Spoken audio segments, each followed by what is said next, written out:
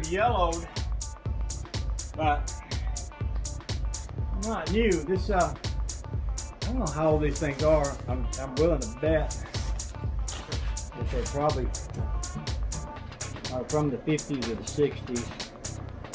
Might be a date on here somewhere. Oh, could be the 70s. They've been around a long time. Classic white walls. Brand new set. 15 inch. Anyway, yeah, they're yellow, but a little bit of oven cleaner will clean them right up and they look good. So I'm gonna put them on and we'll uh, back her out of the garage and look her all over. See what we think. Holy joy.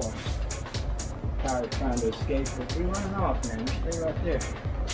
I ain't ready to turn you loose yet.